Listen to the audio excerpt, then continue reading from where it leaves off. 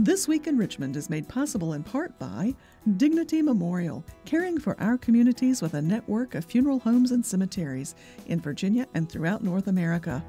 More information about Dignity Memorial's providers is online at dignitymemorial.com. Alpha Natural Resources. Consistent with its running right process, Alpha is an energy company committed to being a leader in mine safety and an environmental steward. We fuel progress around the world. More information at alphanr.com. Haley Buick GMC, the place for a new Verano or Terrain Denali, on Midlothian Turnpike in Richmond and online at haleybuickgmc.com. Taking it to the streets and helping our community the Virginia Chamber of Commerce, the voice of the Virginia business community, working in legislative, regulatory, and political arenas to promote the free enterprise system. Information at vachamber.com. I just received a letter from a student who thanked me for instilling the love of math in him. That's why I teach. Brought to you by the Virginia Education Association, because a good education is good for everybody. Additional support is provided by these sponsors.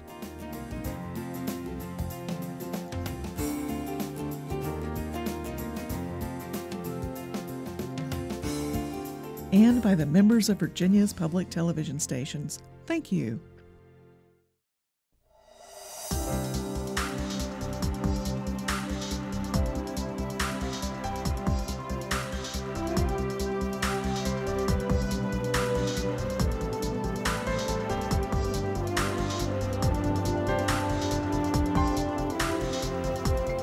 Welcome to This Week in Richmond and a very special welcome to Delegate Keith Hodges. Thank you for being with us. Uh, we were talking before we started the show that Chris Jones, Delegate Chris Jones, is a pharmacist. Yes, sir. You serve in a seat that, as I was looking uh, for now for 35 years, has been represented yes, by a pharmacist. That's that's somewhat unique. That is that is Former correct. Delegate Harvey Morgan, who served for about 30 of those years. 32, actually. 32. 32 years. And now you completing your second term four years. Yes, sir. And uh, appreciate your being on to talk about any number of issues. First, why don't you tell the viewers about the uh, area of the Commonwealth that you represent and some of the major issues, then we'll get into some pharmacy issues. Certainly. Um, thank you first for, for having me here. Yes. And I represent the 98th District, which is Virginia's Middle Peninsula, so Gloucester, Mathews, Middlesex, King and Queen, Essex, and part of King William and it, it's six counties and three towns. So we have Urbana, Tappahannock, and West Point within the district as, as well. Um, it's what I call the, the best part of the Commonwealth, living, living there all of my life, growing up there. My wife is from there. I married my high school sweetheart. And uh, I just love the, the, the, people in the Middle Peninsula, and it's a quality of life like nowhere else in the, in the Commonwealth. But we also have our challenges as well, and economic development hmm. is my number yes. one priority in, in the um, in the Middle Peninsula. You know, growing up there, I lived next door to my grandparents. My wife, my high school sweetheart, she lived next door to her grandparents.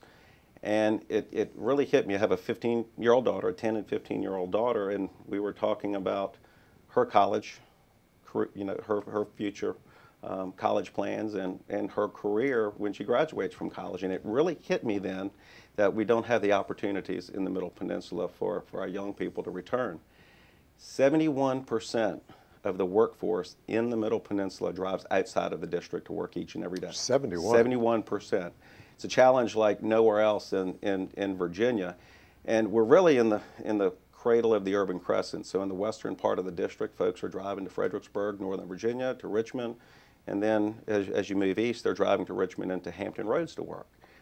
And it leaves behind a workforce the folks that actually live and work in the district, we have the lowest wages in the state, in the Commonwealth.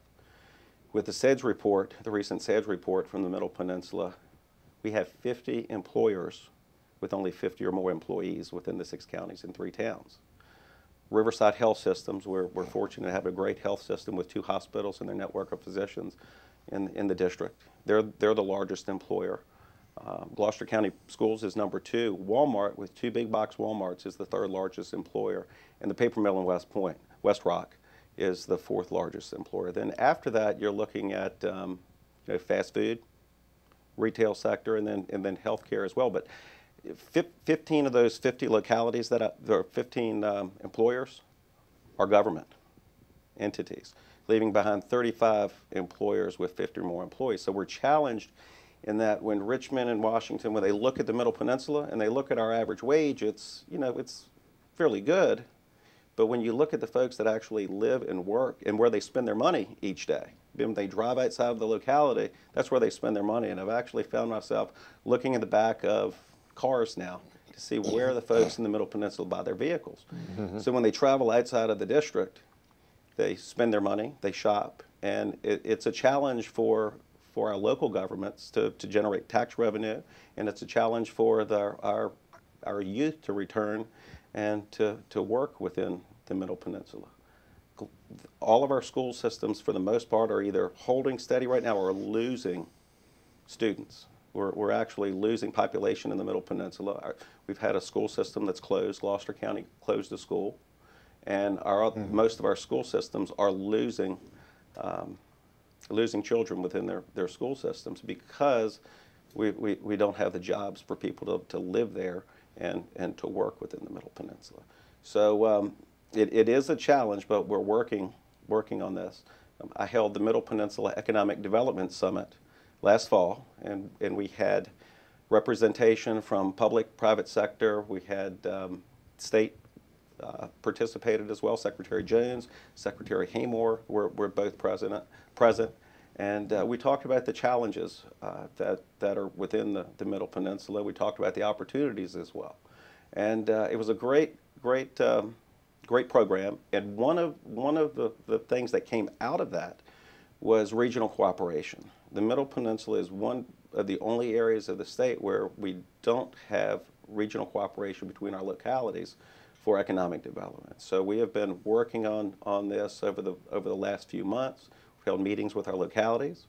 Um, they are working very hard to, to, to, to develop an economic development organization of some type. So it's, it's, it's actually, as a legislator, it's not up to me.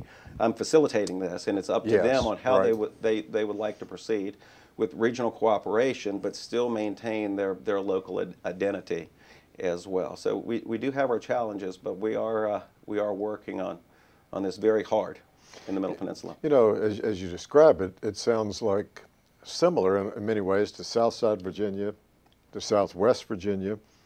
Um, but in some of those portions of Southside and, and Southwest, there's uh, been tobacco revitalization sure. money that's helped. And I don't, you didn't mention it, but I don't know that tobacco has grown in sure. that much in the Middle Peninsula where there would be really, it's not in the footprint where there's that kind of assistance for sure. economic it, development. And that is a challenge that, that we've talked about. So that type of assistance is not available yes, to us in, right. in, the Middle Peninsula. And we're kind of between Hampton Roads and, and we're between Richmond. And we, over the years, we've, we've lost our identity as well. So we need to, to maintain, well, we need to focus on who are we? What do we want the Middle Peninsula to be?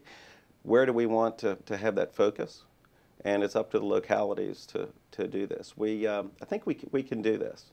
Uh, we've had some excellent discussions, and in the end, you know, the, the assistance, it does help, but I do believe that all of the localities, I guess, have to have some skin in the game to, to make this work. That's the only way to, to really move forward and to make this work. But we're having great discussions right now. Um, we've had three meetings so far with the localities, and we have a fourth planned in August. Mm. So hopefully, at the end of the day, we will we will have um, an organization that uh, within the Middle Peninsula for economic development. Uh, the state has been, and Secretary Jones and his office, Secretary Haymore and his office, have been there every step of the way to, to offer their assistance as well and, and to serve as a resource. Well, beyond your strong concerns about the region of the Commonwealth you represent, uh, as a pharmacist, You've been involved in some, some of the hot issues here at the General Assembly, uh, the prescription drug and, and heroin abuse. Uh, just before we were having the time to tape this show, uh, I was hearing that 43,000 people die a year in the U.S. and with drug overdoses or, or, from abuse. 120 a day. I don't know how many of those are in the Commonwealth, but it, but it is a problem nationwide and something that's being addressed by, by the group that you're working on. Yes, sir. And it, actually, prescription drugs. You know, 30 years ago, we we rarely heard of heard about the prescription drug overdoses that we hear about today. It, it is an epidemic across the nation and in the Commonwealth. In the last 10 years, prescription drug overdoses have doubled in the Commonwealth in the last 10 years, and heroin overdoses have doubled in the last two years.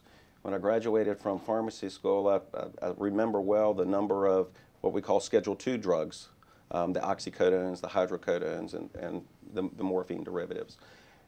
In a small drawer in the pharmacy. Now, it's the, the inventory that we carry in, in the pharmacy is uh, it's a lot more than that. Um, we are working with, with the governor. The governor, through an executive order, created the, the prescription drug and heroin abuse task force and appointed me to serve on that task force. Uh, we have worked on legislation to, to introduce into the session and developing a work plan. Last year in the 2000, well, this past session in the 2015 session, um, legislation was introduced to um, assist individuals, to assist families, and assist the firefighters and EMS with administering naloxone. Mm-hmm. And naloxone is a medication that can either be given through given nasally or through an injection, an auto injector, to reverse the, the overdose of the opioid derivatives, which are the, the number one, our number one cause of accidental um, prescription overdoses. So it reverses that. And there were pilot programs in the Commonwealth. There were one pilot program started in North Carolina. We had those pilot programs in Virginia, which that was created through legislation, and it showed that these pilot programs and these individuals having access to the naloxone saved lives. So that was one great piece of legislation um, that, that was introduced and passed this, this past session. I had um, legislation that um, will help with hospice patients and the families with hospice.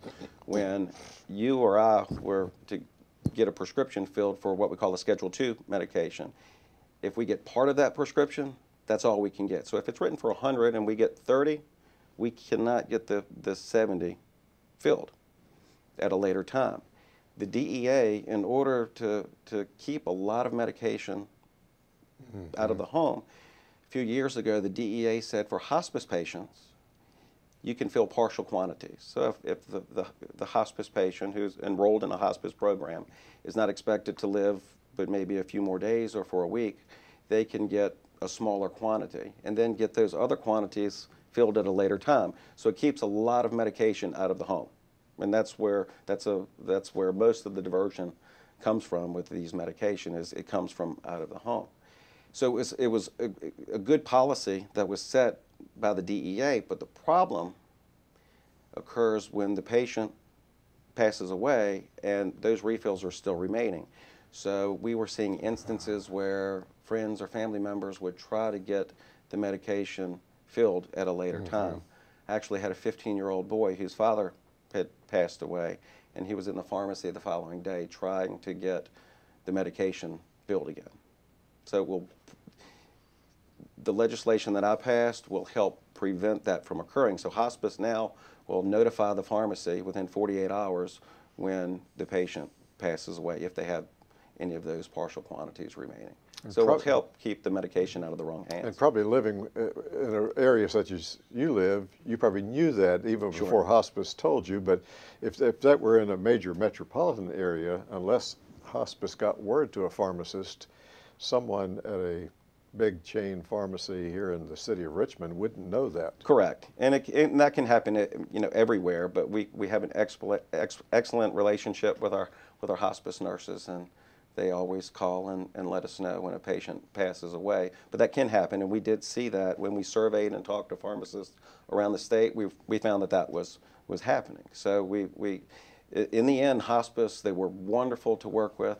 The um, the board with, with the hospice hospice folks were great partners in this moving forward. Um, and we were able to sit down and iron all the kinks out. At the That's end great. of the day, it, it worked out. So uh, it's it's a good bill, that's, and it will help great. save lives. Yeah. Now, what about those drugs that are in the medicine cabinet that uh, people aren't taking? Uh, I myself have had occasion where I would get a prescription and I would take one or two pills for something and the, oh, I don't need any more. And so it's, mm-hmm. it stays there. I've, I've heard you shouldn't uh, put them through the, flush them down. Well, that's actually a no-no. Um, yes. You, you know, so the, you shouldn't do that. So what, what do you do to clear out those drugs? Well, Schedule 6 medications, the non-controlled medications, many pharmacies actually can take those and destroy them for you. There, there's a program where they go into a, a, a HIPAA compliant container where you can't reach in and, and grab it and that's sent away and incinerated. The problem is, is the controlled medications, pharmacies can't do that. The DEA mm. used to hold take-back programs in conjunction with local law enforcement. They would hold these programs throughout the state and take the controlled medications back. The DEA has now stopped those programs and left it up to, now leaving it up to the states to implement these programs. So this is something we're looking at within the, the governor's task force on prescription drug and heroin abuse, how to destroy, of the, destroy these medications appropriately um, so we're working with law enforcement to have these lockbox in you know lockbox um, sites throughout the state mm-hmm. and local law enforcement and possibly pharmacies. So the Board of Pharmacy is now at look, looking at the regulations um, to promulgate regulations for takebacks and looking at ways to effectively take them back.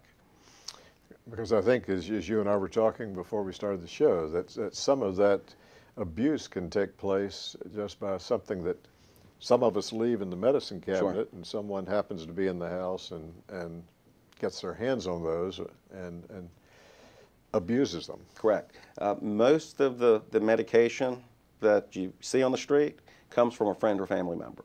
Ah. So the, in, folks leave it on the medicine cabinet, mm. stored in their medicine cabinet, which is the, the worst place to store your medicine. It's hot and humid, and then when someone is in your home behind closed doors, they can open the medicine cabinet and it's right there. So the third cousin, someone you know working on your home doing construction work or working on the plumbing and you know or HVAC, they would have access to that medication. Uh, storing the medication out of sight, either in a lockbox or somewhere out of sight, will help prevent a lot of, of the deaths that we're seeing and a lot of the drug overdoses that we're seeing because that's where most of the mm-hmm. medication comes from. We're, we, you know, we leave it laying in our pocketbook. We, we just don't think about it.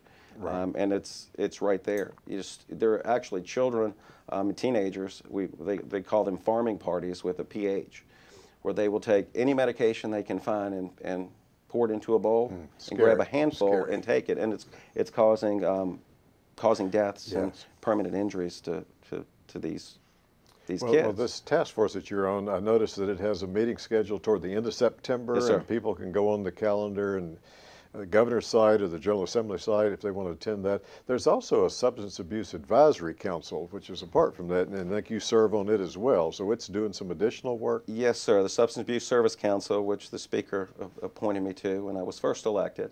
Um, we, this past year, and actually the past two years, we have been looking at marijuana in, in Virginia, the pros and cons of marijuana. We've been looking at, at other states to see what the challenges mm-hmm. that they, they have had. Um, there was legislation that Delegate Albo introduced this past year that deals with just the cannabidiol oil, which is has none of the the properties, yes. the hallucinogenic right. properties. It, it, it, doesn't make you high, and it's used in seizures.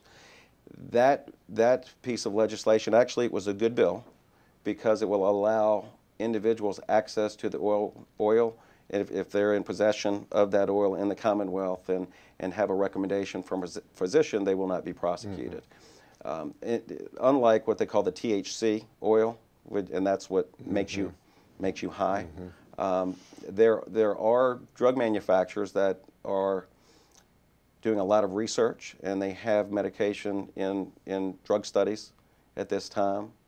One is looking with just the cannabidiol oil mm-hmm. with epilepsy. There are also drugs that, that have a combination of this CBD oil along with THC oil to use in MS. So there are things in the pipeline. Um, they've they've, they've uh, put a lot of resources into these studies, and there, we may see something on the market very soon and approved in the United States with just the cannabidiol oil.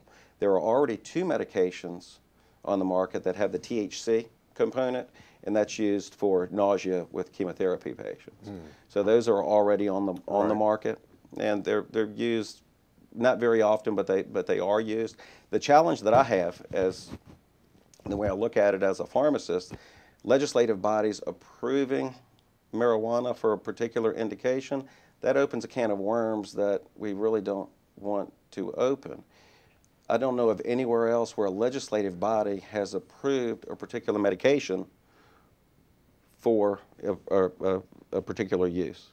So if a, a legislative body approves marijuana for epilepsy, for seizures, you know, for uncontrollable pain, what would then stop a drug manufacturer from coming to the General Assembly and saying, hey, we want to approve this medication in Virginia for this particular indication?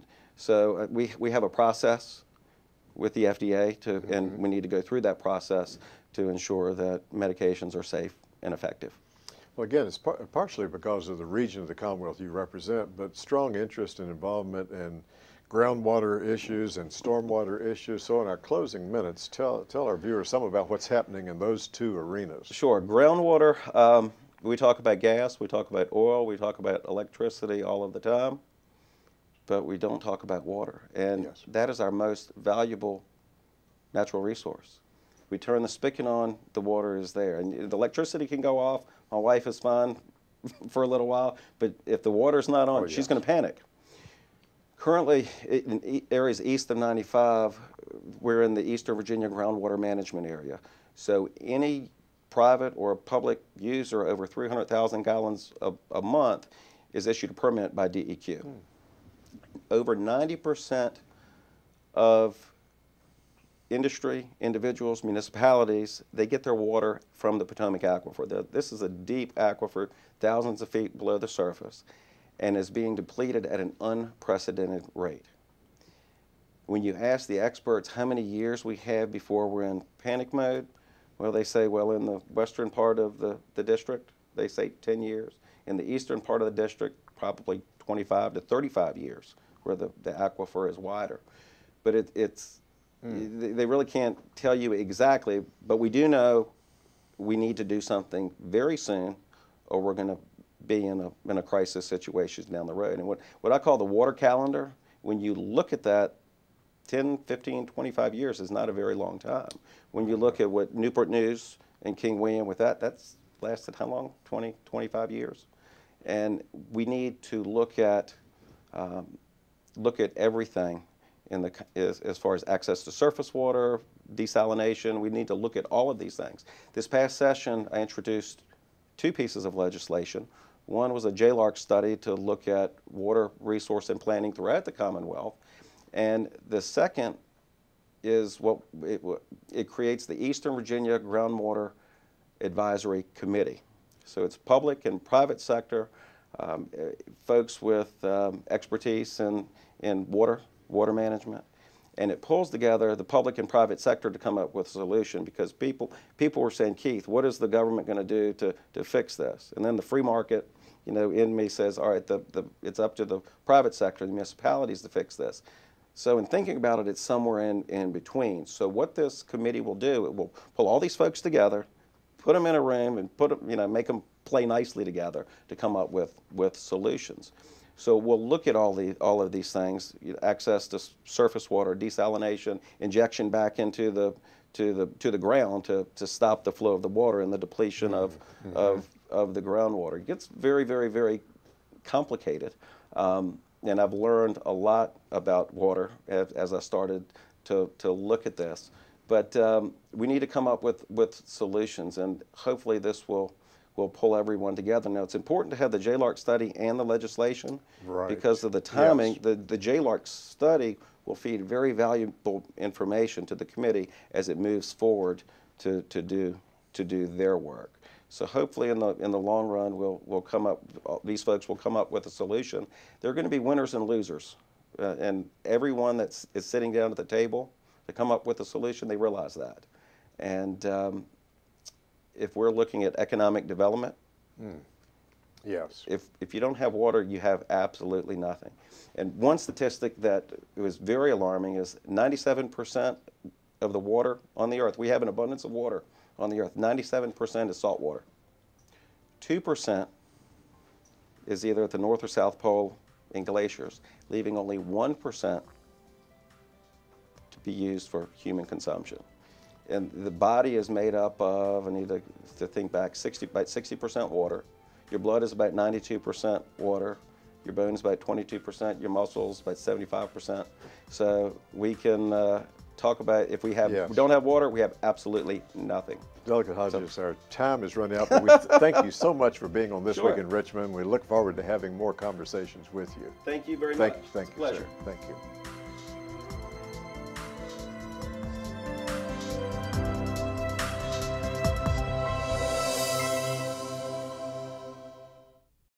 This Week in Richmond is made possible in part by Dignity Memorial, caring for our communities with a network of funeral homes and cemeteries in Virginia and throughout North America.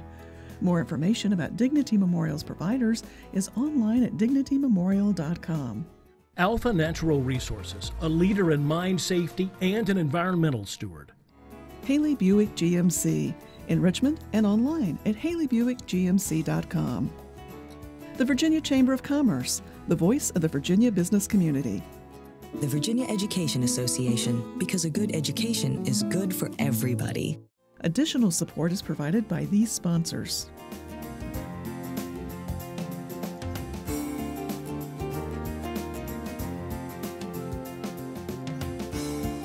And by the members of Virginia's public television stations. Thank you.